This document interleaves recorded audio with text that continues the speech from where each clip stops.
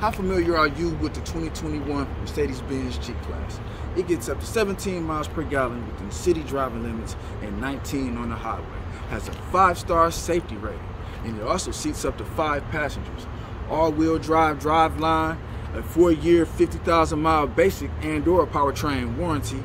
Comes equipped with a four-liter V8 engine, and the feature that I like most about the vehicle is its digital Bluetooth audio system. And that's what this Mercedes-Benz G-Class has to offer.